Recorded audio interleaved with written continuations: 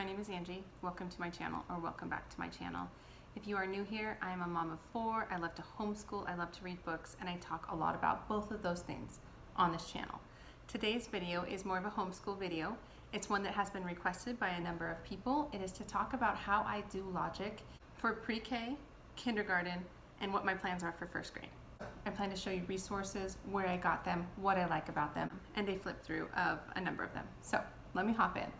I used maybe kind of three companies so far, and I'm definitely open to more. I have a lot, you see, from the Critical Thinking Company. I have a number of books also from Kumon. That's another company. Sorry, the glare is pretty bad, but Kumon. And I have another that I'm trying out for the first time this year, and that's Prufrock Press. So I'll link all those below. I also had a subscriber that mentioned the fact that Evan-Moor has a series called, I think it's Critical and Creative. And I'll check those out if I need more resources, which I might because my kids love logic. So that's the companies I use. I get them mostly from Rainbow Resources, sometimes christianbook.com or Amazon. I really just kind of price check. I wait for sales, especially christianbook.com often has a sale.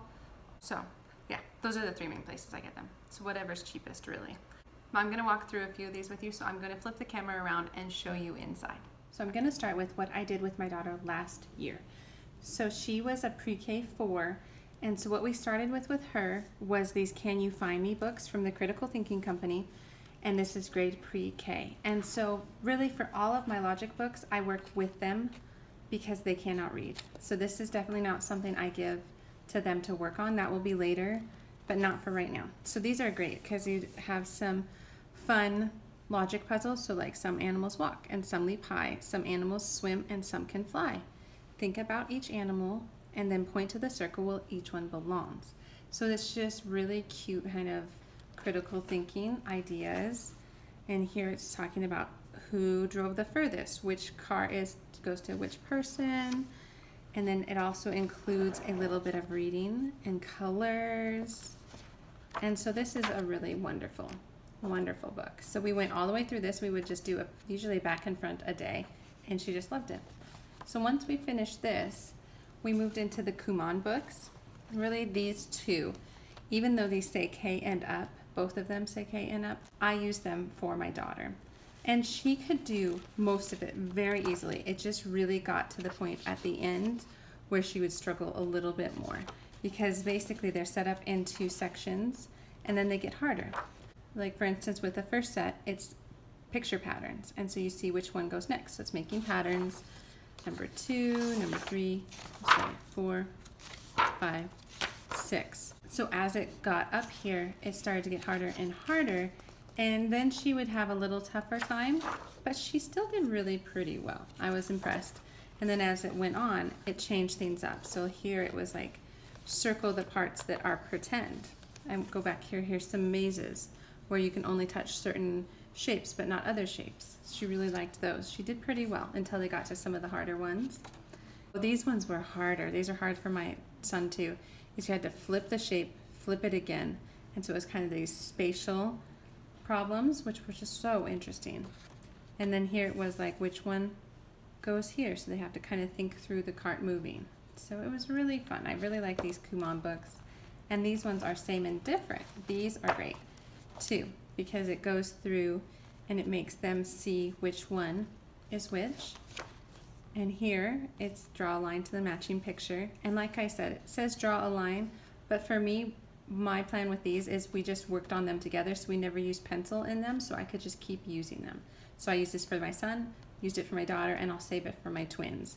So I don't plan on buying these, especially these early ones, pre-KK, more than once. When they get into some of the upper grades, we will, because then I'll just give it to them as independent work, but not for right now. And then I did pick her up a, another Kumon book for this upcoming year. So she will be in kindergarten this upcoming year. And this one's creativity. And this is one that can't really be shared. It has to be drawn in. And she is more of my artsy kiddo. And so I think she will like this. So she's looking forward to this book. It is a lot different than the other Kumon critical thinking books but I think she'll like it. So that's one so that one is what we're working on next and then to transition a little bit into my son for last year he was in kindergarten so again, we started with a critical thinking book. Can you find me? And we worked on this together. So usually as a, a break kind of between math and reading to give his brain a little bit of a rest, we would do two pages, sometimes four pages, depending on how much I would let them do. But it has a very similar feel where it gives you kind of these little word problems, if you will, but they're really fun. And he liked them a lot. So that's when we started with. And then we transitioned into these, which I just love these kinds of puzzles. I remember doing them as a kid. He took a little while to like them or to just really get the hang of how to work them. For instance, if he figured out, say, the duck was six years old and put a circle there, it was hard for him to know that he had to put X's down and X's across. But by the end of kindergarten, I would say he figured that out and he was a lot more independent with these. All I would do is I would read the two clues to him and let him work on it. And so we actually tore these out of this book. So this is a consumable one. So I rebought this for my daughter. But this was the first one where it was pre-KK. And in my opinion, this is more of a K. He didn't struggle with it. It just took him a while to really get it. And I'd say it was very much geared for his age. It wasn't too hard, but it wasn't too easy. But it would have been too hard for my daughter last year.